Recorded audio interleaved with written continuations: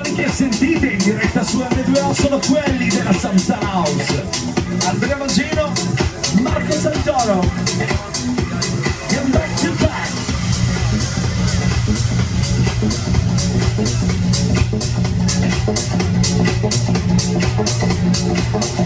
E ho il piacere di introdurvi